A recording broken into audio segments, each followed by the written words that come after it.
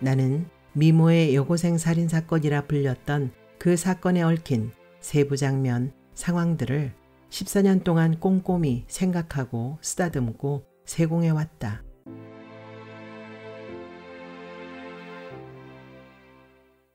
당신이 알지 못하나이다. 권여선 나는 오래전 어느 경찰서 조사실에서 있었던 장면을 상상한다. 상상한다고 해서 꾸며내는 건 아니다. 그렇다고 직접 본 것도 아니니 이걸 뭐라고 해야 할지 모르겠다.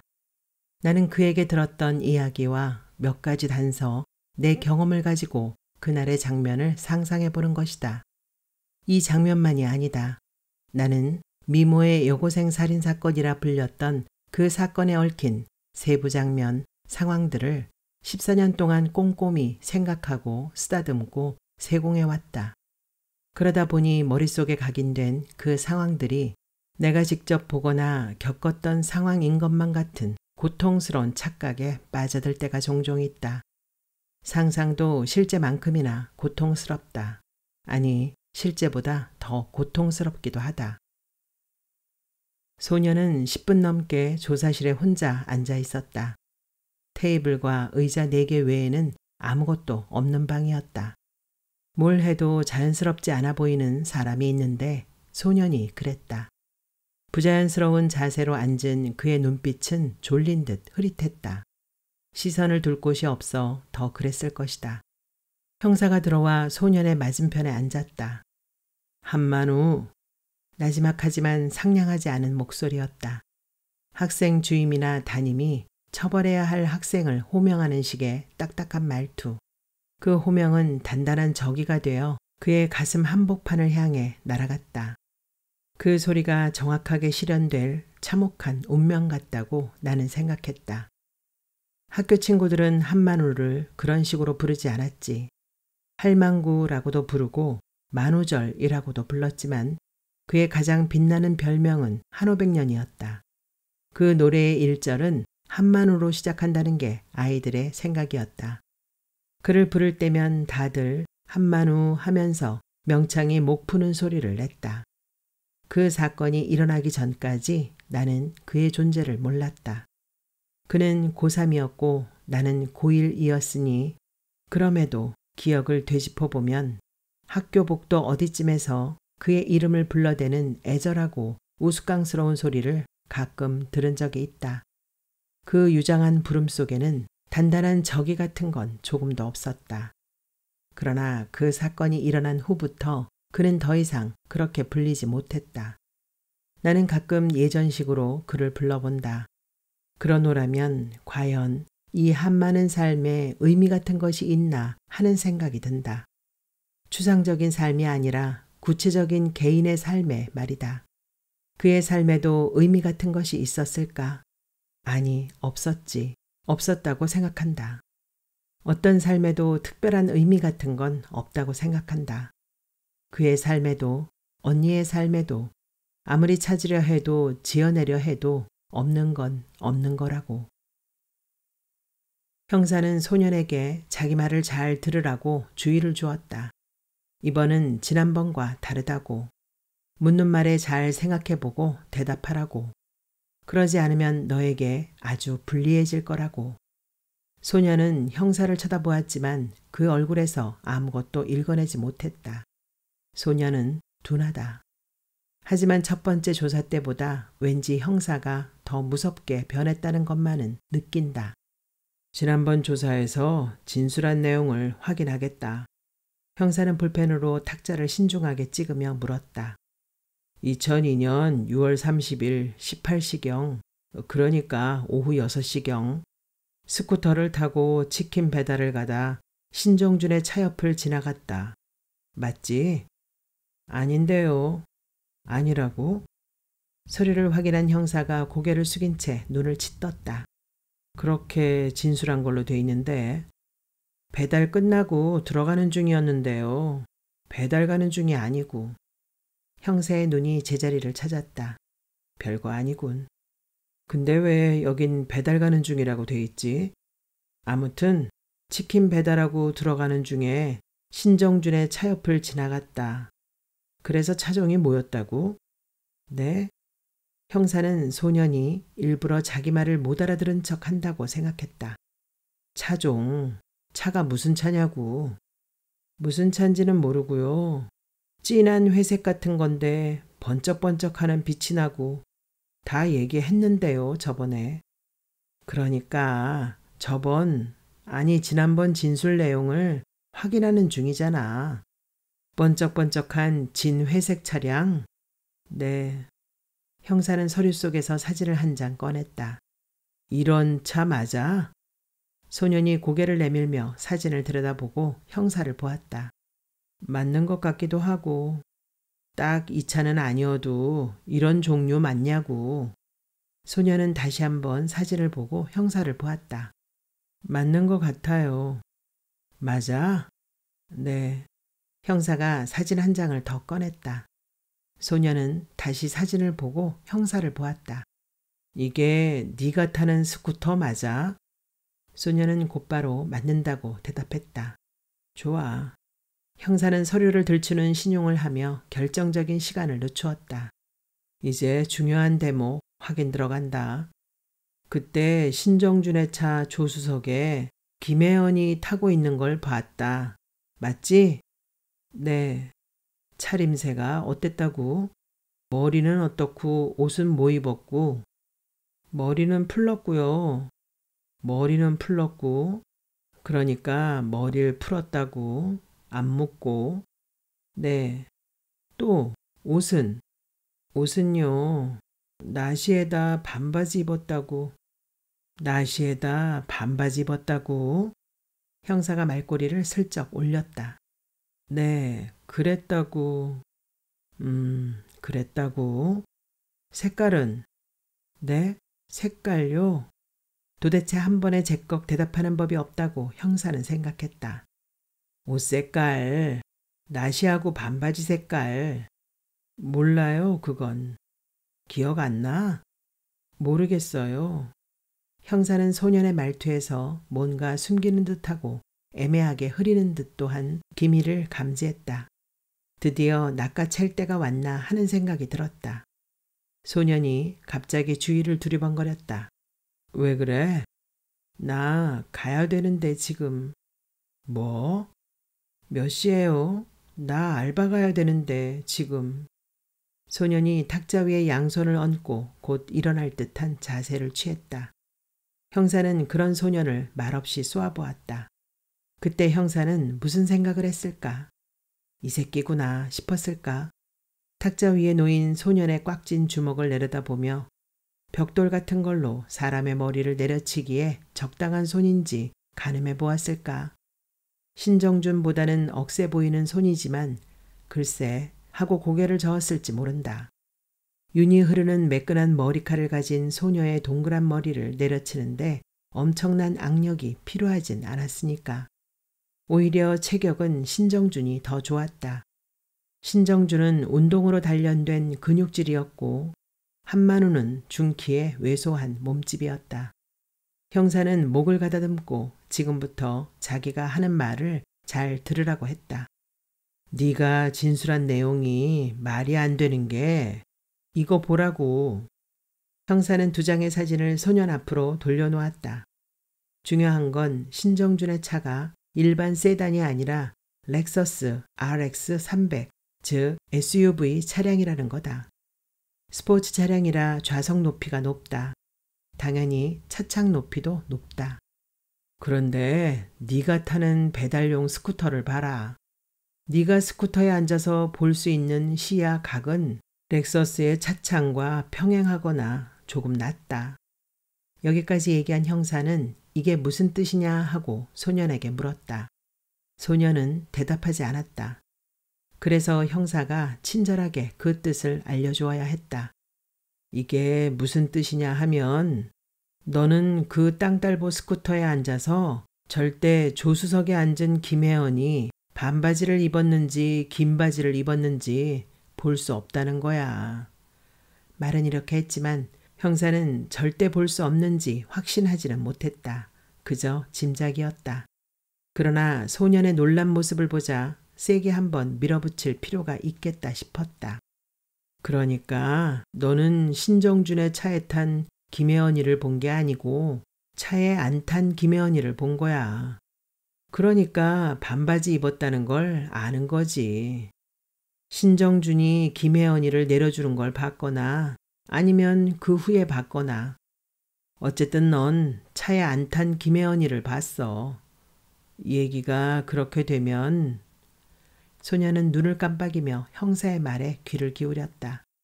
형사의 말은 이해할 수 있었지만 자신이 처한 상황은 이해하지 못했다. 형사의 입가에 치명적인 적중을 앞둔 자의 긴장된 미소가 감돌았다. 김혜원이를 마지막으로 목격한 사람은 신정준이 아니라 바로 너 한만우가 되는 거야. 무슨 말인지 알아듣겠어? 소녀는 형사를 보았다. 형사는 소년이 또 자기 말을 못 알아들은 척 한다는 느낌을 받았다. 그렇다면 좀 더 효과적인 충격을 줄 필요가 있었다. 그러니까 너는 김혜원이를 둔기로 내려쳐 살해한 유력한 용의자가 되는 거라고. 소녀는 깜짝 놀라 어깨를 움츠렸다. 네? 왜요?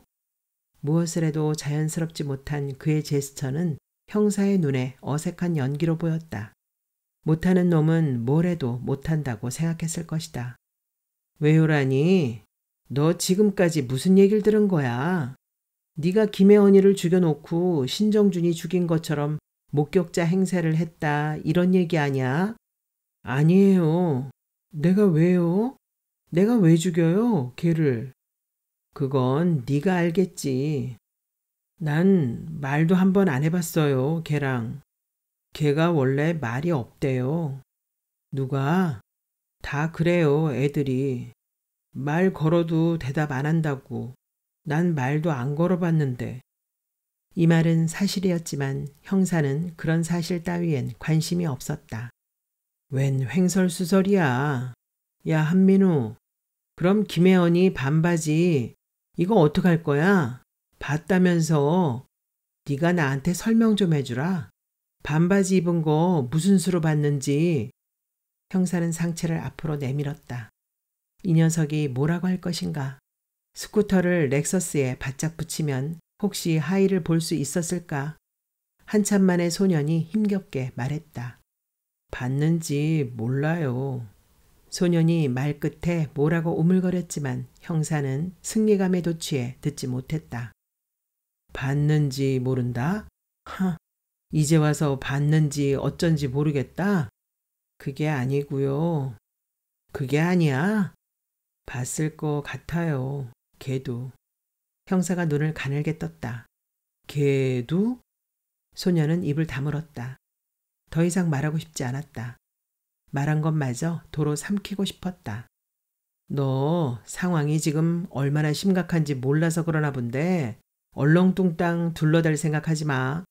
지금까지는 너 혼자 봤다고 했어. 근데 또 누가 봤을 것 같다는 거야? 혼자 봤단 말은 안 했어요. 혼자 봤단 말은 안 했다? 좋아. 그럼 누가 또 같이 봤는데? 말해야 돼요. 말 안 하면 안 돼요. 소녀는 말하고 싶지 않았다. 그날 그 애가 뒤에서 살짝 붙들었던 허리 언저리에 느꼈던 따스함이 생생했을 것이다. 그 감촉을 상상하고 소녀는 그때 형사 앞에서도 바보 같은 미소를 지었을까. 이게 진짜 미쳤나? 형사는 소년의 오이지 같은 면상을 후려갈기고 싶은 충동을 느꼈다. 너 똑바로 대답 안 해? 지금 너 지난번 진술을 뒤집고 있는 거야. 혼자가 아니면 누가 또 같이 봤다는 거야? 소녀는 윗입술을 실룩거리고 무슨 말인가를 할 듯 했다. 나 형사는 귀를 기울였다. 나씨 성을 가진 놈이란 말이지. 가야 되는데 진짜. 형사는 힘이 쭉 빠졌다. 소년에게는 상대방을 답답해 미치게 하는 재주가 있었다. 이 녀석 생각보다 전능인가? 아니면 전능 흉내를 내는 건가? 너 똑바로 대답 못하면 오늘 중으로 못 나가. 아니 내일도 모레도 못 나가. 영영 못 나갈 수도 있어. 안 돼요. 우리 사장님 혼자 그 일 다 못해요. 가야 돼요, 지금. 그러니까 누가 또 같이 봤냐고. 소년이 기어 들어가는 소리로 이름을 말했다. 태림이 소년의 입에서 작은 침방울이 튀었다. 태림이 윤태림 윤태림 윤태림이 누구야? 3반에 있어요. 혜원이랑 같은 반요. 여자야? 소년이 대번에 그를 무시하는 표정을 지었다. 아, 여자죠. 여학생반인데 3반은요. 형사는 억울했다. 자기가 3반이 여학생반인지 남학생반인지 무슨 수로 알겠는가. 그러다 아 김혜원이랑 같은 반이랬지 하는 생각이 나자 더 화가 치밀었다. 근데 왜 그런 얘기를 지금 해? 그럼 너 지난번에 위증한 거야. 위증죄를 확 집어 쳐넣는 수가 있어. 지금부터라도 똑바로 대답 안 하면 혼난다. 그날 너하고 윤태림이 같이 있었어? 네. 왜? 태림이가 태워달랬어요. 뭐를? 스쿠터를? 네. 아, 미치겠네. 그럼 스쿠터를 너 혼자 타고 간 게 아니었어? 배달 가는, 아니, 배달 끝나고 들어가는 길이었다면서. 배달 끝나고 들어가는데요. 길가에서요. 태림이가 손을 막 흔들면서 세우더니 태워달라고요. 자기 좀 급하다고 그래가지고요. 그래서 둘이 타고 가다가 신정준이 차를 봤다? 나는 정준이 찬 줄 몰랐어요. 아니, 정준이 누나 차랬어요. 쌤뺑인데 정준이가 몰고 다닌다고. 태림이가 막 가라고 앞으로. 막 가라고 앞으로? 신호등에 걸렸을 때 그때 태림이가 가서 서라고 앞에. 어디 앞에? 정준이 차요. 왜 가서 서래? 앞에. 몰라요, 그건. 그래서 가서 섰어, 앞에. 형사는 슬슬 짜증이 났다. 소년의 이상한 도치법이 신경에 거슬렸고 자기 말조차 꼬이는 느낌이었다. 네. 그래서 그러니까요. 뭐가 그러니까야. 테리미도 봤을지 모른다고요. 테리미도 봤을지 모른다. 이 말에서 형사는 소년의 위증을 확신했지만 나는 사실을 확인했다. 그날 윤태림은 신정준의 차에 누가 타고 있는지 궁금해서 한만우의 스쿠터를 타고 뒤쫓아가 그 앞에 가서 서라고 했을 것이다. 이 얘기는 그의 머리로는 도저히 지어낼 수 없는 미묘한 진실을 품고 있다. 너 근데 왜 지난번에는 윤태림이 얘기 안 했어? 그냥 싫은 것 같아서요. 뭐가 싫어? 스쿠터가요. 스쿠터가 싫어? 그니까 태림이가요. 스쿠터 탄 거요. 태림이가 네 스쿠터 탄 게 싫다? 네.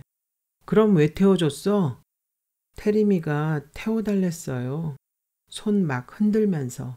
내가 태워준다고 안 했어요, 먼저.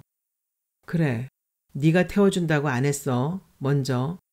그건 알겠는데 그런 얘기를 왜 처음부터 안 했냐고. 아저씨는 몰라요. 걔는 절대 안 타요, 그런 거. 형사는 이쯤에서 미치고 싶었다. 그러니까 네가 싫은 게 아니고 태림이가 스쿠터 싫어한다. 스쿠터 같은 거 안 탄다. 그 말이야? 안 타요, 절대. 배달 스쿠터 같은 거. 태워 달랬을 때 내가 얼마나 놀랐는데요. 그때도 빨리 내려달래서 내려줬어요.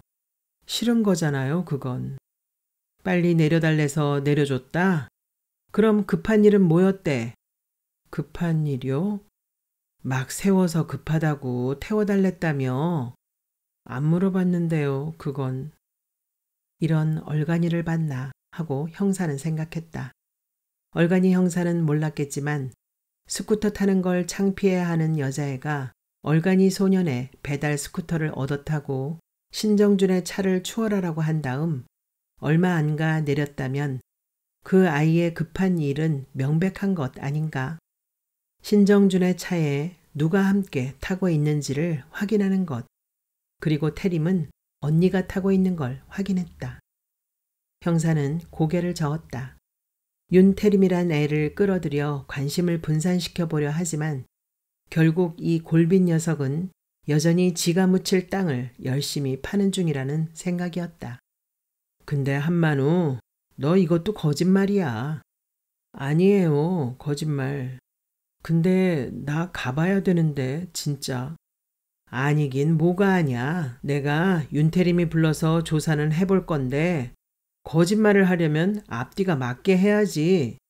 너도 못 보는 걸 윤태림이 무슨 수로 보냐? 머리를 풀어 헤친 거랑 나시 입은 건 봤다 쳐도 윤태림이 걔 여자의 키가 뭐 너보다 더 커? 더 커도 못 봐. 걔도 너랑 똑같이 반바지 못 본다고. 소년이 시무룩하게 말했다. 나 가봐야 돼요, 진짜. 이 자식이 내가 하는 말을 똥구멍으로 듣나? 백 번 말하지만 네 난쟁이 땅딸보 스쿠터에 앉아서는 무슨 수를 써도 반바지 못 본다니까? 네. 뭐? 네? 하, 이 새끼 봐라. 너도 못 본다는 건 인정하는 거지? 형사는 마침내 강력한 확신을 얻었다. 모르겠어요. 근데요. 형사는 귀를 기울였다. 자꾸 난쟁이 땅딸보 그런 말 하지 마요. 형사는 헛웃음을 웃었다. 뭔 소리야. 내가 마지막으로 딱 한 번만 더 묻겠어. 너도 봤으니까 윤태림이도 봤을 거다. 그 얘기지? 네. 조사해보고 아니면 넌 죽었어. 가도 돼요, 이제? 가봐, 가봐. 형사는 소년이 자리에서 일어나 꾸벅 인사를 하고 운동화를 찍찍 끌면서 조사실을 나가는 뒷모습을 못마땅하게 지켜보았다. 그리고 한참 동안 서류를 탁탁 탁자에 두드려 모를 맞추며 생각에 잠겼을 것이다. 나는 형사에게 그런 버릇이 있다는 걸 안다. 꺼진 볼펜으로 탁자를 딱딱 찍는 버릇이 있다는 것도. 형사의 말투와 표정, 고릴라처럼 어깨가 올라붙은 자세까지 생생히 기억하고 있다. 형사가 여러 번 우리 집에 찾아오기도 하고 엄마와 내가 경찰서에 찾아가기도 했으니까. 그날 형사는 소년의 오이지 같은 얼굴과 신정준의 말끔한 얼굴, 소년의 싸구려 월드컵 티셔츠와 신정준의 아이비 버튼 다운 셔츠, 홀어머니와 회계사 아버지, 반에서 20등과 전교 10등, 이쪽과 저쪽의 알리바이를 증명하는 사람들의 신뢰도, 격차 등을 따져보았을 것이다. 그래서 범인이 누구인지보다 누구를 족쳐서 범인으로 만들어야 하는지를 생각했을 것이다. 그리고 실제로도 그렇게 했다. 언니는 누구나 한 번 보면 잊기 힘들 정도로 아름다웠다. 아무 내용 없는 텅 빈 형식의 완전함이 주는 황홀. 하물며 열아홉이었음에랴. 그 아름다운 형식을 파괴한 자는 누구인가? 한민우인가? 신정준인가? 아니면 제3의 인물인가? 나는 이제 안다. 14년 전의 살인자가 누구인지는 몰라도 누가 아닌지는 아니다. 살인자가 누구인지도 알고 있다고 믿는다. 그러니 그런 짓을 했을 것이다. 해가 설핏 넘어가는 중이었다. 나는 도서관 옆 계단으로 내려오다 맞은편에서 올라오는 베이지색 블라우스에 노란 스커트를 입은 여학생을 보았다. 젖은 계단가로 올라오는 여학생을 보고 나는 잠시 시선을 피했다가 다시 보았다. 시선을 피한 것도 다시 본 것도 나로서는 그렇게 하지 않을 수 없어서였다. 여학생은 몹시 말랐고 피부가 노리끼리 했는데 노란 옷을 입어 더 그렇게 보였다. 가까이에서 보니 블라우스에 스커트 차림이 아니라 아래로 갈수록 노란 빛이 짙어지는 원피스였다. 그러나 나를 사로잡은 건 그녀의 옷이 아니라 얼굴, 아니 표정이었다. 표정이라고 할 수도 없다. 그녀는 딱히 표정이라고 할 만한 것을 짓고 있지 않았으니까. 젊은 여자의 얼굴에서 그토록 이상한 이미지들이 마구잡이로 혼합되어 있는 표정을 본 적이 없다. 그녀의 얼굴은 낯익으면서도 낯설었다. 오래전에 본 얼굴이면서 한 번도 본 적 없는 얼굴이었고 안다고도 모른다고도 할 수 없는 얼굴이었으며 피하고 싶기도 하고 들여다보고 싶기도 한 얼굴이었다. 여학생의 얼굴은 못생기거나 흉측하지 않았다. 예쁜 편이라고 할 수 있었다. 노란 옷을 입은 데다 그녀 뒤편에 불그레한 노을이 지고 있어 그녀는 거대한 불꽃의 심지처럼 보였다.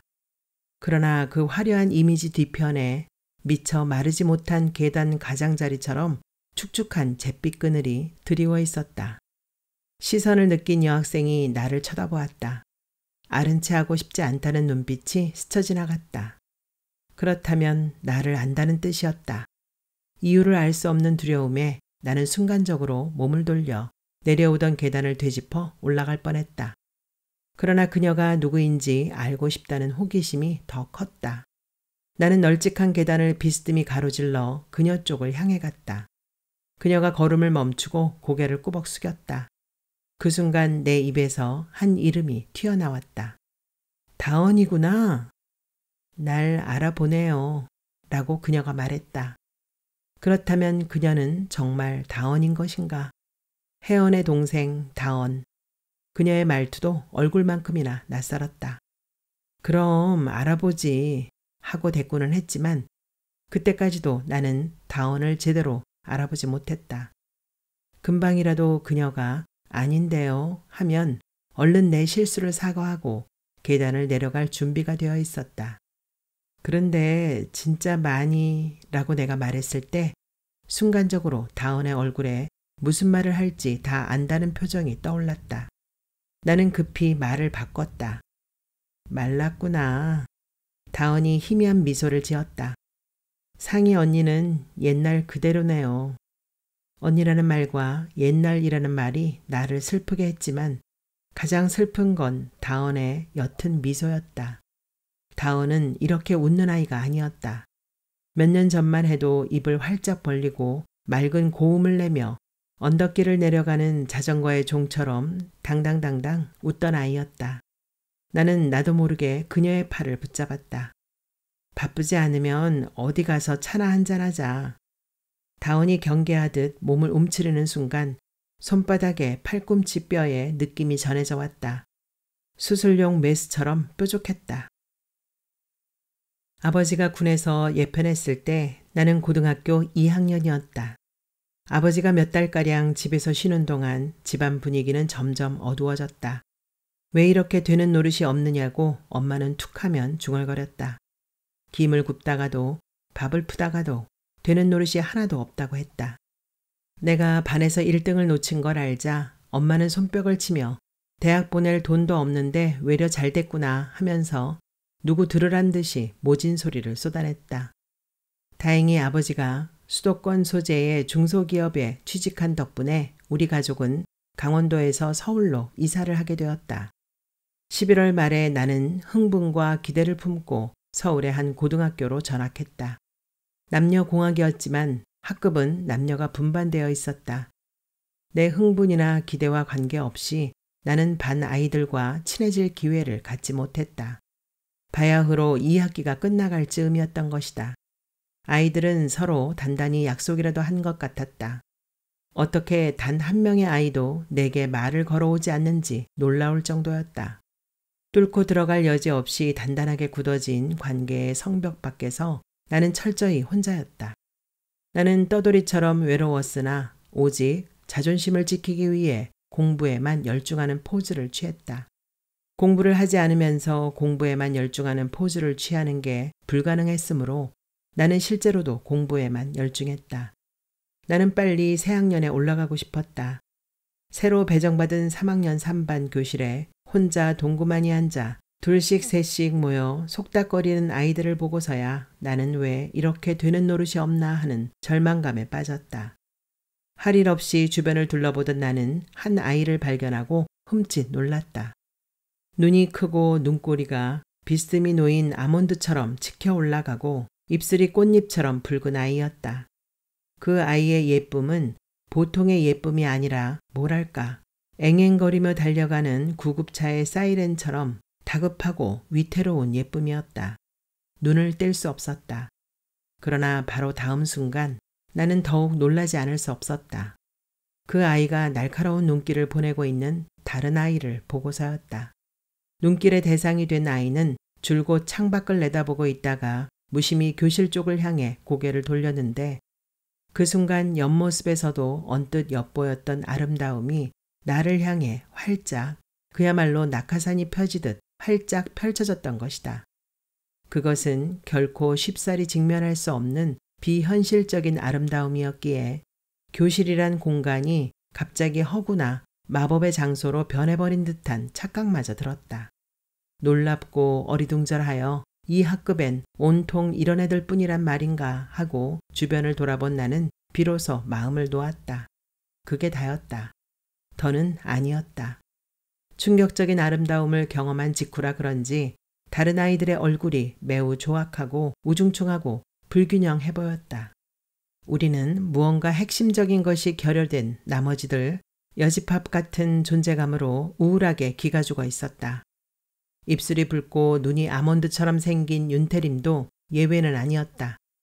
태림이 예쁜 것은 분명했지만 혜연의 절대적이고 압도적인 아름다움 앞에서는 그 애나 우리나 별 차이가 없는 것처럼 느껴졌다.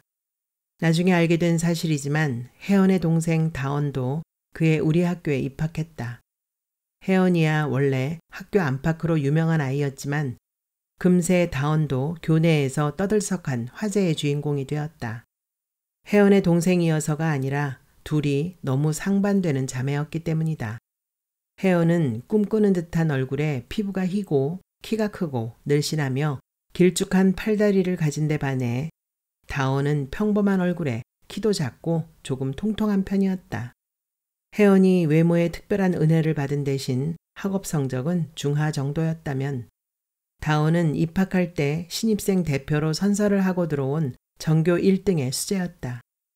혜연이 무심하고 냉담하고 말도 없고 잘 웃지 않는 반면 다원은 호기심과 열정이 넘치는 데다 매사에 싹싹하고 야무졌으며 무엇보다 전교에서 제일 자주 웃음을 터뜨리는 아이였다. 자매의 역할 또한 전도되어 늘 다원이 혜원을 동생처럼 챙겼다. 다은은 등교할 때면 교문에 도착하기 전에 혜연을 세워놓고 복장에 불량한 점이 없는지 앞뒤로 돌아가며 살피곤 했는데 정작 흰 블라우스에 볼펜 자국이나 흘린 자국이 있는 쪽은 다원이었다.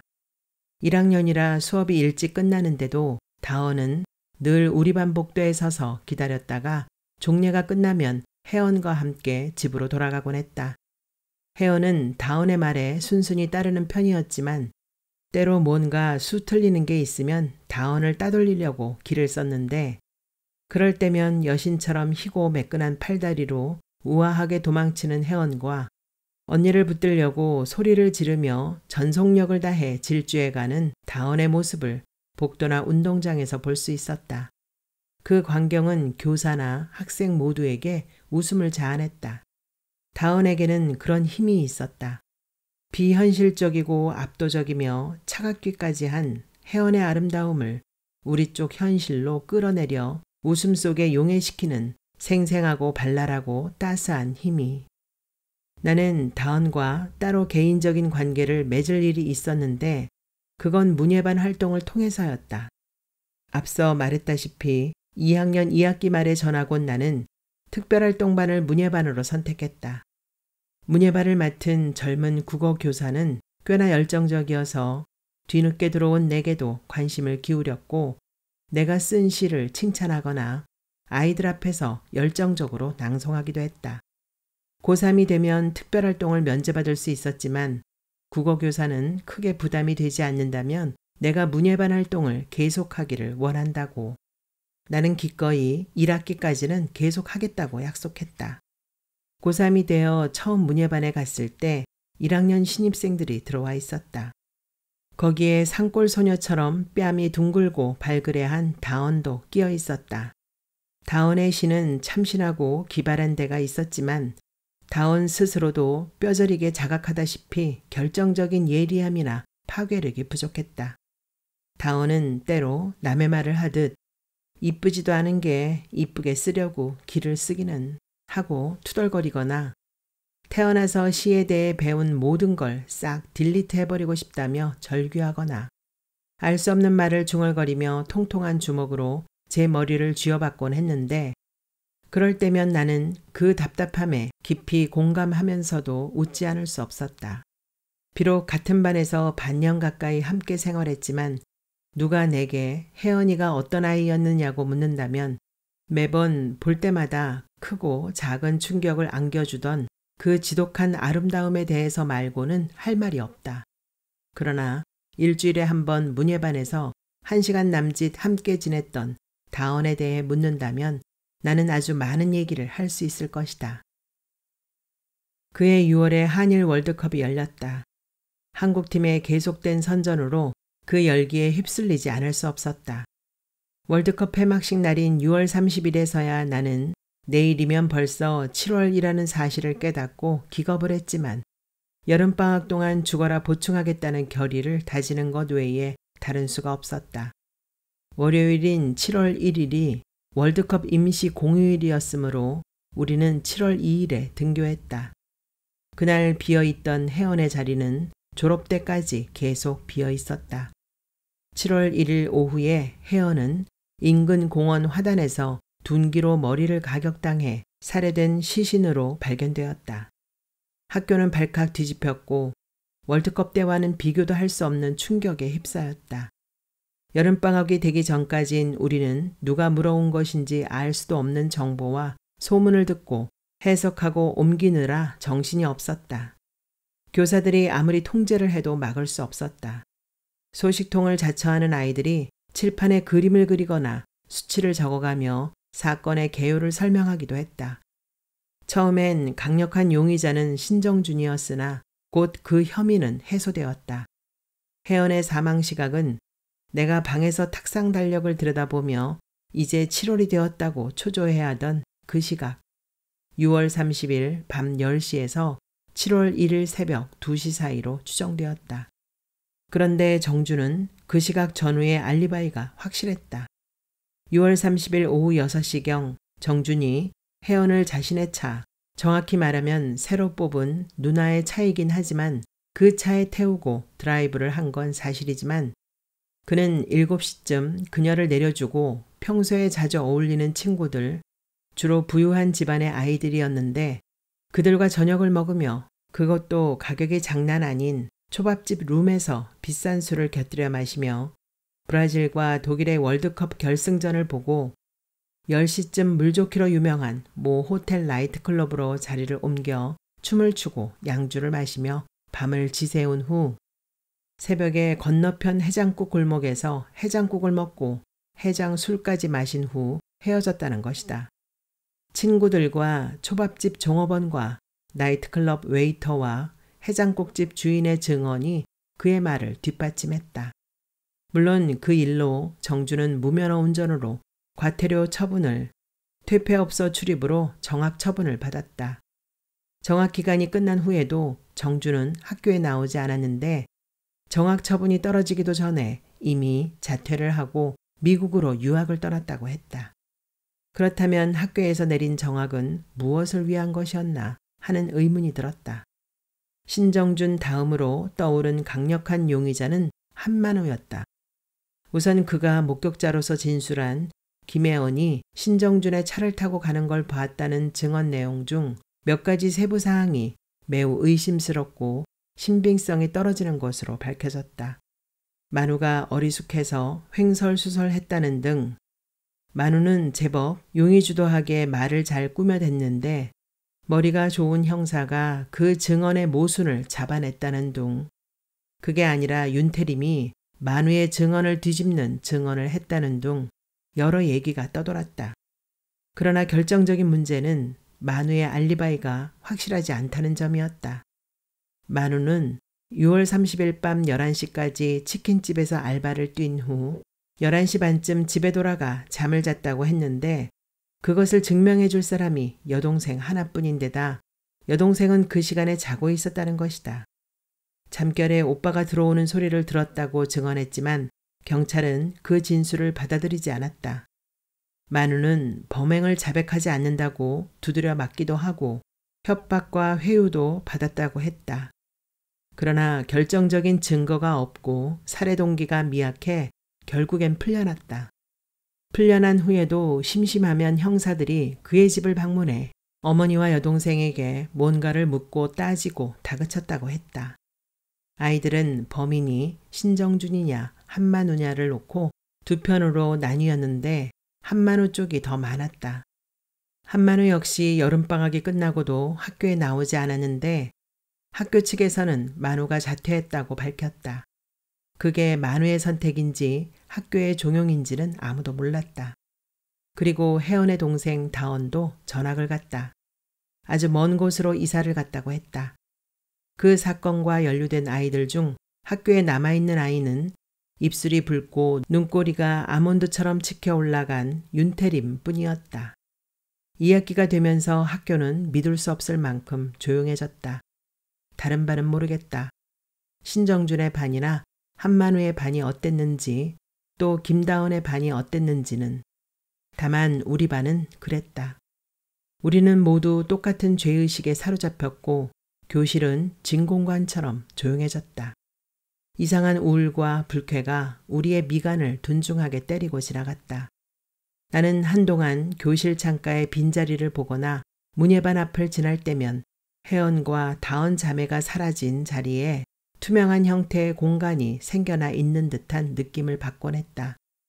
그러나 우리는 천천히 제자리를 찾아갔다. 눈앞에 임박한 시험의 생생하고 폭력적인 부담감이 모든 정서적 충격을 녹여버렸다. 그래, 몇 명이 유학을 가고 전학을 가고 이런저런 이유로 떠나간 것 뿐이야. 그래도 우리는 여기 그대로 남아있잖아. 죽을 맛이야. 아무것도 변한 게 없어. 사는 게 이게 뭐냐. 그런 식으로 그 사건은 우리에게서 끝이 났다. 우리는 대입시험을 치르고 졸업을 했다. 졸업식 날 본 태림은 혜연과 비교되지 않아 그런지 한창 피어날 때라 그런지 예전보다 훨씬 강렬하게 예뻐진 것처럼 보였다. 마치 흡착기로 뭔가를 쏴 빨아들이듯. 우리는 도서관 카페로 갔다. 내가 무엇을 마실지 묻자 다원은 아무것도 마시지 않겠다고 그냥 물이나 한 잔 달라고 했다. 나는 다원 앞에 물과 레모네이드를 놓고 마주보는 자리에 아메리카노를 놓고 앉았다. 가까이서 보니 다원은 제법 진한 화장을 하고 있었다. 나는 대학 선배로서 가능한 한 평범한 대화를 나누려고 했다. 무슨 과인지, 앞으로 진로는 어떻게 잡았는지 하는 것. 일단 내가 4학년이었으므로 2학년이지 하고 물었더니 뜻밖에도 1학년이에요. 라는 대답이 돌아왔다. 재수했느냐고 물었더니 고등학교 때 1년을 쉬었다고 했다. 나는 고개를 끄덕였다. 충분히 이해할 수 있는 일이었다. 언니가 살해당했는데 살해의 이유도 밝혀지지 않았고 범인도 잡히지 않았다.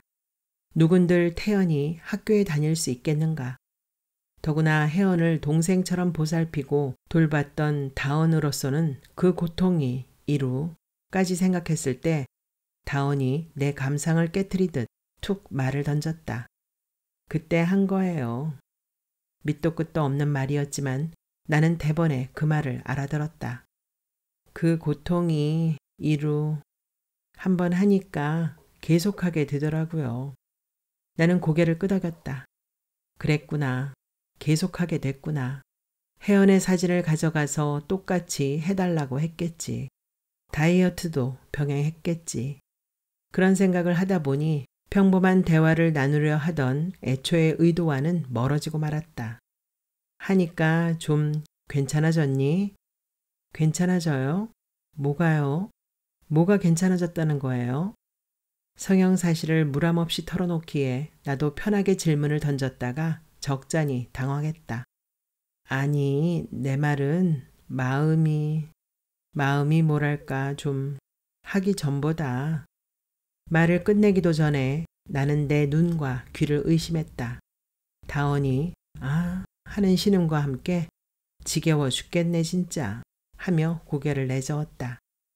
표정 또한 진절머리가 나서 견딜 수 없어 보였는데 성형 후유증 때문인지 피부가 어색하게 뒤틀리면서 얄궂게 상스런 표정이 되었다. 나는 다원이 이토록 꼴사납게 변한 게 안타까웠다. 이런 무례한 태도를 참아줘야 하는지 맞대응을 해야 하는지 판단을 내리지 못하고 혼란에 빠져 있는데 다운이 고개를 돌려 옆자리를 매섭게 노려보았다. 남학생들 셋이 상당히 큰 소리로 두 시간 뒤에 열릴 한국과 세네갈의 월드컵 평가전 얘기를 하고 있었다. 나는 한숨을 내쉬었다. 다행히도 다운이 지겨워한 것은 내가 아니라 축구였다. 충분히 이해할 수 있는 것이었다. 4년 전 월드컵과 해연의 사건은 샴 쌍둥이처럼 붙어 있어 하나를 끌어당기면 다른 하나가 딸려 나올 수밖에 없었다. 다운은 남학생들 쪽을 외면하고 어떤 얘기도 듣지 않겠다는 자세로 노란 갑각류처럼 딱딱하게 등을 돌리고 있었다. 다운이 행한 성형의 결과는 어떤 식으로든 혜원을 떠올리게 했지만 결코 똑같지는 않았다. 똑같을 수가 없었다. 돌이킬 수 없이 늙고 망가져버린 혜원을 상상할 수 있다면 지금 다운의 모습은 그런 혜원을 무리해서 억지로 복원시켜 놓은 모습 같았다. 다운은 예전의 혜원과 망가진 혜원 사이에 놓인 중간 존재처럼 보였다. 어느 쪽으로도 갈 수 없는. 그렇다면 다원은 어디로 간 걸까? 다원이 나를 힐끔 보더니 웃었다. 아니, 찡그리듯 입가를 움직였다. 그러니까 상희 언니, 괜히 왜 이런 데를 오자고 해요. 나는 뭐라고 대답해야 할지 몰랐다. 이런 데가 어떤 데를 말하는 건가? 도서관 카페에서 남학생들이 월드컵 얘기를 하고 있을 줄 내가 어떻게 알았겠는가? 설령 다른 카페에 갔더라도 거기에 월드컵 얘기를 하는 사람이 하나도 없으리란 법이 어디 있겠는가? 특히 오늘같이 중요한 평가전이 있는 날엔. 이런데 오면 하고 다원이 말을 이었다. 내가 언니 언니 하면서 괴로운 마음을 털어놓을 줄 알았어요.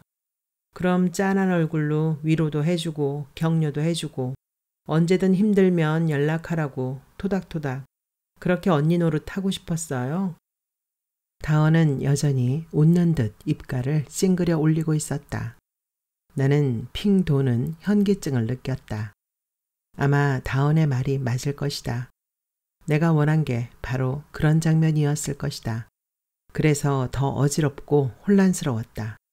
다짜고짜 다원을 때리고 싶은 충동이 일었다.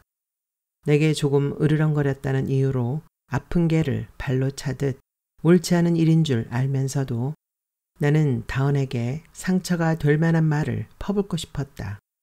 그러나 나는 잠시 숨을 골랐다. 다원은 그 사건 이후로 나 같은 사람을 많이 만났을 것이다. 위로해 주려고 다가왔다가 그녀의 공격성에 놀라 당황하거나 붕괴하는 사람들. 충분히 이해할 수 있는 일들이었다. 그러니 관두자고 생각했다. 어떤 말을 내뱉든 나도 그런 사람들 중 하나가 될 뿐이었다. 다원이 물을 한 모금 마시고 백을 집어들었다. 물컵 가장자리에 붉은 립스틱 자국이 남았다. 내가 사온 레모네이드에는 손도 대지 않았다. 다원이 일어나려다 말고 물었다. 참, 윤태림은 연락돼요? 나는 반창회에서 가끔 보긴 한다고 대답했다. 다원이 백에서 휴대전화를 꺼냈다. 그럼 언니 연락처 좀 줘요. 나는 바보처럼 멍해졌다. 누구? 나? 테림이? 다원이 입가를 살짝 찡그렸다. 저게 웃는 것이려니 하는 생각이 들었다. 윤태림이 왜 언니예요? 언니가 언니지. 나는 고분고분 휴대전화 번호를 불러주었고 다은이 그걸 입력하는 동안 얌전히 두 손을 맞잡고 있었다. 다은이 고개를 들었다. 상희 언니, 아직도 시 써요? 갑작스런 질문에 나는 얼굴이 붉어졌다. 아니, 안 써. 하고 고개를 저었다. 아, 그렇군요. 다은이 레모네이드를 보더니 고개를 갸웃하고 말했다. 레몬, 과자. 내가 말했다. 베티번 씨. 다은의 눈이 빛났다. 그 눈빛에서 나는 예전에 다은에게서 풍겨오던 싱싱한 생기를 엿보았다. 내 눈빛에서 다은도 뭔가를 엿보았을까? 기억나요, 언니? 기억 나네. 나는 언니가 계속 시를 썼으면 좋겠어요. 상희 언니랑 우리 언니가 바뀌었으면 좋겠다 그런 생각 한 적이 있었어요. 언니하고 얘기하는 게 너무 좋았어요. 그때로 돌아갈 수 있다면 다은은 백년을 산 여인처럼 말했다. 미안해요 언니. 나중에 연락할게요. 이 말을 남기고 다은은 갔다. 긴 머리카락에 노란 원피스, 흰 백과 흰 구두. 나는 사라지는 그것들을 보았고 도서관 카페에 혼자 남아 아메리카노를 마셨다. 커피를 다 마시고 레모네이드를 마시기 시작했다. 조명은 그대로일 텐데 밖이 깜깜해 그런지 카페는 한결 어둑해진 듯 했다. 문득 서울로 전화가 혼자 지내던 시절이 떠올랐다. 아무도 말을 건네지 않아 혼자 밥을 먹고 혼자 공부하고 혼자 집으로 돌아가던 그 겨울의 추운 날들. 한때 내 시에 열광했던 다원이 아직도 시를 쓰느냐고 물었다. 대학에 들어와서 나는 시를 그만두었다. 이제껏 내게 시를 쓰느냐고 물어오는 사람도 없었다. 다원은 내가 계속 시를 썼으면 좋겠다고 말했다. 다원만이 뭔가를 잃어버린 게 아니었다. 나 또한 뭔가를 잃어버렸다. 오히려 더 문제가 되는 쪽은 나였는데 다원은 자신이 뭘 잃어버렸는지 끊임없이 자각하고 있는데 반해 나는 무엇을 잃어버렸는지조차 알지 못한 채 살고 있었다. 그런 주제에 다원을 보고 이것도 충분히 이해할 수 있는 일이고 저것도 충분히 이해할 수 있는 일이라며 관대하게 고개나 끄덕이고 앉아 있었던 것이다. 나는 자문했다. 나 또한 그때로 돌아가고 싶은가. 조이스에 빠져 레몬 과자를 파는 베티번 씨라는 시를 쓰던 그 시절로 그럴 수 있다면 그렇게 할 것인가? 나는 대답할 수 없었다. 그 시의 첫 예언을 기억한다. 오늘도 과자가 탔다. 되는 노릇이 하나도 없군요. 우리 베티번 씨. 다원은 나중에 연락하겠다고 했지만 연락하지 않았다. 내가 다원을 다시 만난 건 작년 11월 국립도서관 1층 가방 보관함 앞에서였다. 대학 도서관 계단에서 만난 지 9년 반 만이었다. 돌이켜보면 다원과 나는 문예반 교실 아니면 도서관 같은 언어를 매개로 한 공간에서만 만난 셈이다. 나도 그녀도 뭔가를 쓰거나 공부하고 있었기 때문일 것이다. 그때 그녀는 참회록 비슷한 글을 쓰고 있다고 했는데 그게 어떤 종류의 글인지 나는 자세히 알지 못한다. 딴 데 정신이 팔려 물어보지 못했다. 내가 다원에 대해 아는 건 오직 한 가지. 월드컵이 있던 그 해에 일어난 끔찍한 사건이 결코 그녀에게서 끝나지 않으리라는 사실뿐이다. 끝없이 계속되리라는 사실뿐이다. 끔찍한 무엇을 멈출 수 없다는 것. 그 무엇이 끝없이 진행된다는 것. 그게 한 인간의 삶에서 어떤 무게일지 나는 상상할 수조차 없다. 내 고등학교 졸업식과 대학 졸업식에 우리 가족 누구도 참석하지 못했다. 아빠와 언니가 참석 못한 건 당연했지만 엄마가 그런 건 생각해보면 그건 역시 당연한 일이었다. 나도 참석하지 않았다. 언니가 죽은 후 우리는 경기도 신도시로 이사했고 나도 그곳 고등학교로 전학을 했다. 이전 학교와 달리 공학이 아닌 여고였다. 처음엔 나도 엄마도 매우 느린 속도로 떨어지고 있었기 때문에 떨어지고 있는 줄도 몰랐다. 엄마는 꼬박꼬박 일을 하러 나갔고 나도 꼬박꼬박 학교에 나갔다. 엄마는 어땠는지 모르겠다. 나는 점점 어리둥절해졌고 인정하고 싶지 않지만 내가 언니를 별로 사랑하지 않았던 게 아닌가 하는 의혹에 빠졌다. 그건 무척 슬프고 괴로운 의혹이었다. 사랑하지 않은 게 아니라 사랑하지 않았던 게 아닌가 하는 것.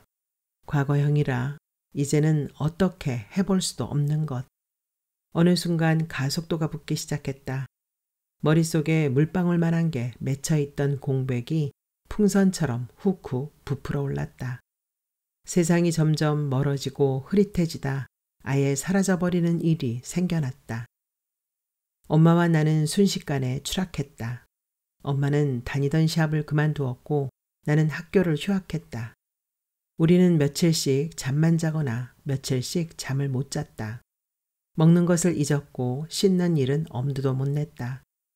어떻게든 위로 기어 올라가야 한다는 단순한 사실을 깨닫지 못한 채 오랫동안 우물 같은 축축한 어둠 속에 죽은 듯이 엎드려 있었다. 돌이켜보면 차라리 그때의 완전한 무기력 상태가 더 편했다는 생각도 든다. 그때 나는 오직 언니에 대해서만 생각했고 세상에 그보다 절박한 일은 없다는 듯 언니와 관련된 희미한 기억 하나를 떠올리기 위해 몇 날 며칠을 거기에 붙들려 있곤 했다. 아마 엄마도 그랬으리라 짐작한다. 원래 언니의 이름은 혜은이었다. 김혜은. 엄마가 그렇게 지었고 아빠도 동의했다.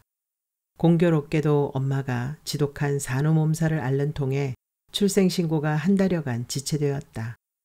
그동안 경상도 출신이라 발음이 분명하지 못한 아빠가 언니를 혜연아 혜연아 하고 불러대는 통에 엄마도 세뇌가 되어 혜연이란 이름도 의외로 괜찮구나.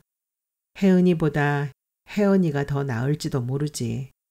어차피 혜은이라 지어도 아이 아빠가 계속 혜연이라 불러댈 테니 차라리 그쪽으로 정하는 게 낫지 않을까 생각했다. 그래서 언니는 김혜연이 되었다. 만약 언니가 혜은이었다면 나는 다은이가 되었을 것이다. 다은과 다언. 어느 게 더 나은지 모르겠다. 내 경우는 아무래도 상관없지만 언니의 경우는 달랐다. 엄마는 언니가 죽은 후 혜은이라는 이름에 강하게 집착했다. 이름이 바뀌는 바람에 그렇게 되었다고 생각하는 것 같았다. 결국 죽은 언니는 혜은이 되어 엄마에게 돌아왔다. 이건 비유가 아니다. 언니가 죽고 나서 10년 뒤 실제로 살아있는 아기가 엄마 품에 안겨 혜은이 되었으니 아빠는 언니를 끔찍이 사랑했다고 한다. 사랑하지 않을 수 없을 만큼 예쁜 아기였을 것이다. 나는 아기였을 때의 언니를 상상해 본다. 아빠는 언니를 동네방네 자랑하고 다녔다. 언니를 본 사람은 누구나 서슴없이 자신의 평생을 걸고 이보다 예쁜 아기는 본 적이 없노라고 단언했다. 아빠가 언니의 죽음을 감당하지 않아도 되었던 건 행운이었다. 아빠는 종종 새 담뱃갑에서 첫 개비를 뽑다 실수로 뚝 부러뜨리곤 했는데 그럴 때면 얼굴이 벌개지도록 화를 냈다. 아빠는 벌컥 화를 낼 일이라고는 그 정도밖에 없는 평범한 삶을 살다 갔다. 언니가 초등학교에 입학하기 전 해에 그러니까 언니가 7살, 내가 5살이었을 때 아빠는 동료 직원과 지방 출장을 갔다가 교차로에서 교통사고로 즉사했다. 운전은 동료 직원이 했고 아빠는 조수석에 타고 있었다. 마치 신정준이 운전하는 차에 조수석에 언니가 타고 있었듯이 친척들은 그 후로 엄마가 변했다고 쑥덕거렸다. 회사와 보험사에서 꽤 많은 보상금을 받았을 텐데도 저렇게 돈에 무섭다고들 했다. 엄마는 친구의 샵에 돈을 벌러 나가면서 집안일은 맏딸인 언니에게 맡겼다. 그건 애초에 말이 안 되는 일이었다. 집안은 엉망이 되었다. 아빠의 죽음과 엄마의 변화로 언니는 상처를 받았을까? 아마 조금은 받았을 것이다. 받지 않을 수 없었을 것이다. 하지만 그 때문에 언니의 성격이 변했다고는 생각되지 않는다. 언니는 바위처럼 단단해 쉽게 바뀌지 않는 사람이었다. 집안일은 내가 떠맡게 되었다. 나는 여섯 살에 청소기와 세탁기 돌리는 법을 익혔고 7살에 엄마가 불 쓰는 일을 허락해 쌀을 씻어 전기밥솥으로 밥을 하고 가스레인지에 두부와 참치를 넣은 김치찌개를 끓였다. 거의 하루 종일 같이 지냈지만 나는 언니가 무슨 생각을 하는지 알지 못했다. 아니, 언니는 아무 생각도 하지 않는 것 같았다. 언니는 아무 일도 하지 않았고 아무 생각도 하지 않았다. 아무도 위하지 않았고 아무도 해하지 않았다. 누구의 눈도 의식하지 않았고 누구에게도 관심을 두지 않았다. 간섭받지 않고 무의한 상태로 있을 때 제일 행복하고 평화로워 보이는 존재였다. 가능한 한 말도 하지 않았는데 그게 다른 사람들에겐 자신의 가치를 높이기 위한 의도된 책략이 아니었음에도 그런 책략을 쓸 만큼의 용의 주도함과는 거리가 멀었음에도 언니에게 그보다 더 훌륭한 책략은 없었다. 말없이 상대방을 응시하거나 짤막한 대답만을 던지고 무심히 고개를 돌리는 절제와 우아함이 언니의 미모를 빛나는 위험을 감싼다. 언니는 몸의 물질성에 대한 자아의식이 느슨하고 희박했다. 육체가 가진 육중한 숙명을 이해하지 못했고 외모가 주는 기쁨과 고통을 몰랐다. 언니는 자기 신체의 아름다움을 우연히 해변에서 주운 예쁘장한 자갈 정도로 취급했다. 사람들에게 내보였을 때 유리한 점이 많다는 건 알았기에 때로 그것을 이용하기도 했지만 자신의 외모가 지닌 진정한 가치는 몰랐다. 진주와 자갈의 차이를 모르는 어린애처럼. 언니는 무심했고 무욕했다. 나는 언니와 먹을 것이나 장난감을 놓고 다툰 기억이 없다. 그런데 그게 좋기보다 서운하고 불안했다. 나는 늘 언니에 대해 심한 이질감을 느끼고 있었다. 언니는 식탐이 전혀 없었으므로 평소에 나는 먹고 싶은 걸 마음껏 먹을 수 있었다. 하지만 언니가 배고파지면 상황이 달라졌다. 언니는 역지사지나 감정이입이 불가능한 존재로 변했다. 최소한의 룰이나 배려 따위는 찾아볼 수 없었다. 그럴 때 나는 숨을 죽이고 가만히 기다려야 했다. 자기 배를 채울 수 있다면 언니는 굶주린 아이와 노인의 빵도 태연히 빼앗아 먹을 수 있는 사람이었다. 그럴 때 언니는 짐승처럼 보였고 전응아처럼도 보였고 심지어 사이코패스처럼도 보였다. 그러나 그 시간이 지나고 나면 초탈한 성자처럼 보였다. 그렇게 자주라고 할 수 없지만 엄마는 언니를 때렸다. 작정하고 매를 드는 게 아니라 갑자기 터지는 재채기처럼 느닷없는 매질이었다. 집에서의 게으름과 학교 생활의 불성실함 탓도 있었지만 가장 중요한 이유는 다 큰 계집애가 속옷을 잘 챙겨 입지 않는다는 것 때문이었다. 어느 날 엄마는 속옷도 입지 않고 학교에 다녀온 언니를 후려 갈기려고 손을 쳐들었다. 그러다 어느 순간 허망하게 손을 내렸다. 엄마는 마치 처음 보기라도 한 듯 중학생이 된 언니의 얼굴을 가만히 들여다보았다. 그리고 거기에서 어떤 희망과 빛을 발견하고 얼굴이 환해졌다. 엄마는 득이 만면한 표정으로 고개를 돌리고 누군가에게 보란 듯이 고개를 끄덕였다. 봤지? 이건 드물고 귀한 거야. 귀한 건 늘 돈이 되는 법이지. 그 후로 나는 집안일을 챙기듯 언니의 속옷을 챙겨야 했다. 집을 나서기 전에 언니를 세워놓고 앞뒤로 돌아가며 뭘 빠뜨리고 안 입었는지 점검했다. 언니와 같은 고등학교에 입학한 후로는 교문 앞에서 한 번 더 점검해야 마음이 놓였다. 고3인 언니는 이미 다 큰 처녀였으니 그해 월드컵 기간 내내 나는 심한 여드름으로 그야말로 얼굴이 붉은 악마인 상태로 지냈다. 피부과에서 치료를 받았지만 발진은 가라앉지 않았다. 월드컵이 끝난 다음 날은 임시 공휴일이었다. 그날 저녁 전화벨이 울렸을 때 나는 욕실에서 골똘히 생리대 날개를 붙이고 있었다. 계속 울리는 전화벨 때문에 나는 생리통으로 허리를 잘 펴지 못한 엉거주춤한 자세로 나가 전화를 받았다. 김혜원의 보호자를 찾는 전화였기에 나는 엄마가 일하는 샵에 전화번호를 알려주고 전화를 끊었다. 욕실로 돌아오는 순간 갑자기 호흡이 가빠져 숨을 쉴 수가 없었다. 왜 언니의 보호자를 찾는 걸까 하는 생각이 들었다. 잠시 뒤에 엄마가 전화를 걸어와 언니가 집에 있는지 확인해 보라고 했다. 나는 언니 방과 안방, 내 방까지 다 둘러보고 나서 집에 없다고 말했다. 엄마는 벌벌 떨리는 목소리로 내게 어디 나가지 말고 문 꼭 잠그고 집에 꼼짝 말고 있으라고 했다. 그날 밤 늦게 엄마는 비에 흠뻑 젖어 돌아왔다. 밖에 비가 오는 줄도 몰랐던 나는 엄마가 젖은 몸으로 거실 바닥에 철퍼덕 주저앉는 걸 보고 걸레부터 집어들었다. 혜은이가 죽었다. 그때 엄마는 그렇게 말했다. 엄마가 혜은이라고 분명히 발음하던 그 목소리가 잊히지 않는다. 돌이켜보면 이상한 것이 전날 밤 언니가 집에 돌아오지 않았다는 사실을 나도 엄마도 몰랐다. 나는 그날 언니가 하루 종일 집에 있는 줄로만 알았다. 언니는 월드컵 따위에 관심이 없었으므로 나는 혼자 브라질과 독일의 결승전을 보고 라면을 끓여 먹으며 폐막식 중계를 보았다. 샵에서 늦게 돌아온 엄마는 아파트의 현관문이 잠겨 있지 않은데도 그걸 대수롭지 않게 여겼고 딸들을 불러 주의를 줄 생각도 하지 않았다.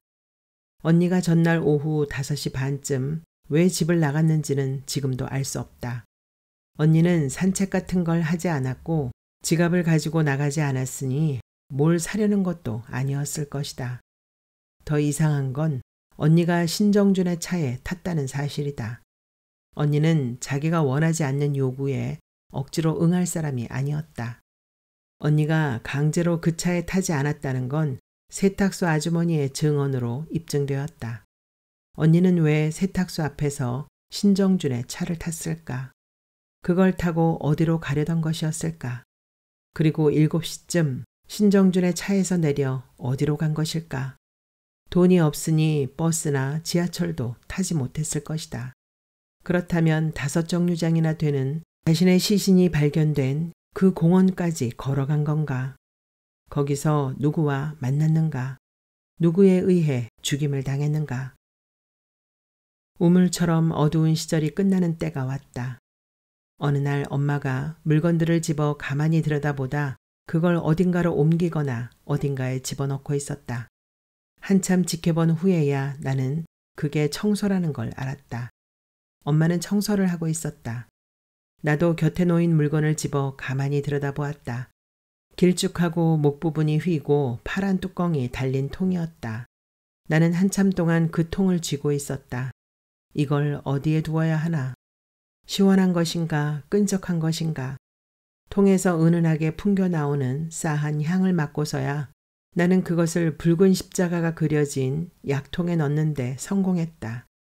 그렇게 우리는 다시 현실로 돌아왔다. 그때만 해도 그렇다고 생각했다. 드디어 벗어났고 이제 살아났다고. 엄마는 다시 지인의 샵에 출근하기 시작했고 나는 방학이 끝나는 대로 학교로 돌아갈 예정이었다. 그러나 우리는 제대로 돌아온 게 아니었다. 엄마는 언니의 이름을 바꾸려고 가정법원을 찾아갔다. 딸의 이름을 바꾸고 싶다고 하자 직원은 신청 서류를 주고 첨부해야 할 서류에 대해서도 알려주었다. 집에 돌아온 엄마는 개명 신청 서류에 반듯한 글씨로 언니의 성명을 쓰고 대리인인 엄마의 성명과 주소, 인적사항 등을 썼다. 개명 취지에는 원래 이름이 김혜은이었는데 출생신고가 잘못되어 지금이라도 바로잡고 싶다고 적었다. 엄마가 가정법원에 서류를 접수하러 가자 직원은 첨부 서류를 요구했다. 엄마는 딸아이가 죽어서 가족관계 증명서를 뗄 수 없었다고 대답했다. 직원은 경악하며 개명하려는 사람이 죽은 사람이라고요? 하고 물었다. 엄마는 담담하게 그렇다고 대답했다. 직원은 사망자의 개명은 불가하다고 말했다. 엄마는 포기하지 않았다. 산 사람 이름 바꾸는 것과 죽은 사람 이름 바꾸는 게 무슨 차이가 있느냐고 그거 하나 해주는 게 뭐가 그렇게 어렵냐고 따져 물었다. 직원은 그건 어려운 게 아니라 불가능한 일이라고 말했다. 설사 개명 허가가 난다 해도 개명된 이름을 어디 신고할 데가 없지 않느냐. 사망자는 소속이 없어 기재할 서류가 없지 않느냐고 반문했다. 엄마는 그건 상관없다고 했다. 그냥 개명 허가만 내달라고 했다. 직원은 고개를 흔들었다. 그건 제가 어떻게 할 수 있는 문제가 아닙니다. 사망자의 개명은 불가합니다. 직원은 이렇게 말하고 엄마가 인지대로 낸 천 원을 사각의 접시에 얹어 돌려주었다. 천 원짜리 지폐를 물끄러미 바라보던 엄마는 애가 죽었는데 그거 하나 못 해주나 그거 하나 하고 중얼거렸다. 그리고 혼자만 사탕을 받지 못한 어린애처럼 울먹이며 지폐를 집어들고 돌아섰다. 그 후로 엄마는 사적인 개명 작업에 착수했다. 자기 힘으로 언니의 이름을 바꾸기로 한 것이다. 언니의 교과서와 참고서, 노트와 수첩에 적힌 이름을 바꿔 적고 앨범에 있는 언니의 사진을 하나하나 찾아내 뒷면에 굳이 혜은이라는 이름을 적어 넣었다. 아빠가 죽은 후부터 쓰기 시작한 가계부를 모조리 꺼내 언니의 항목으로 소비된 지출을 수정액으로 지우고 이름을 바꿔 적었다. 혜은의 체육복과 운동화와 학용품을 모두 혜은의 것으로 바꾸었다. 네 언니 혜은이 말이다 하고 언니 얘기를 할 때 엄마는 늘 해라는 발음에 유의했는데 그게 과하여 때로는 회나 회, 캐나 새처럼 들리기도 했다. 어느 날 자다 문득 눈을 떴을 때 나는 엄마가 내 곁에 앉아 내 얼굴을 빤히 들여다보고 있는 것을 보았다. 언제부터 보고 있었는지 알 수 없었다. 내가 눈을 떴는데도 엄마는 표정 하나 바꾸지 않고 말없이 내 얼굴을 들여다보았다. 그건 마치 깊이 박힌 거스러미를 억지로 뜯어낸 손톱에서 피가 배어 나오는 걸 지켜보는 듯 지극한 고통을 견디는 표정이었다. 나는 엄마가 내 얼굴이 아닌 다른 얼굴을 찾고 있다는 걸 알았다. 엄마는 다른 얼굴을 원하고 있었다. 내가 보고 싶던 얼굴은 어디로 갔지? 이 자리에 왜 네 얼굴이 있는 거지? 아주 오래전 어느 날 언니의 얼굴을 보며 희망에 불탔던 엄마의 눈빛과 정반대의 눈빛이 있다면 바로 그때 나를 들여다보던 그 눈빛일 것이다. 나는 우리가 현실로 돌아오지 못했음을 알았다. 비틀린 경로로 우회하지 않고는 다시는 현실로 돌아올 수 없다는 것도 알았다. 자기 자신을 놓칠까봐 잠시도 가만히 있지 못하고 머리를 흔들거나 눈을 깜빡이는 불안증 환자들처럼 끊임없이 무언가를 행하고 취소하고 반복하는 경련의 삶이 우리 앞에 기다리고 있다는 것을. 엄마가 엄마 스스로를 바꾸지 못해 언니의 이름을 바꾸려 했다면 나는 언니의 그 무엇도 바꾸지 못해 나 스스로를 바꾸기로 했다. 엄마가 말렸더라도 나는 감행했을 것이지만 엄마는 말리지 않았다. 말리기는 커녕 부추긴 거나 다름없다. 그토록 돈에 무서운 엄마가 선뜻 수술비를 대주겠다고 했으니 말이다. 나는 이곳저곳의 성형외과를 전전했다. 처음엔 눈과 입술을, 이어서 이마와 코를 성형했다. 마지막으로 광대뼈와 하악, 턱 끝을 깎는 안면 윤곽 수술을 세 차례에 걸쳐 받았다. 수술의 고통은 내게 마약과 같았다. 코에 부목을 대고 있는 동안 퉁퉁 부어오른 광대뼈 위로 눈물을 흘리는 동안 나는 언니처럼 평온할 수 있었다. 언니가 죽고 2년 반이 흐른 뒤에야 나는 그 공원에 가볼 용기를 냈다. 신도시에서 전철을 타고 예전에 우리가 살던 아파트 근처 역에 내려 마을버스를 타고 들어갔다. 공원의 규모는 그리 크지 않았다. 중앙 산책로에서 왼편으로 휘어지는 좁은 길을 따라 들어가면 외딴 곳에 갈색의 나무 벤치가 있었다.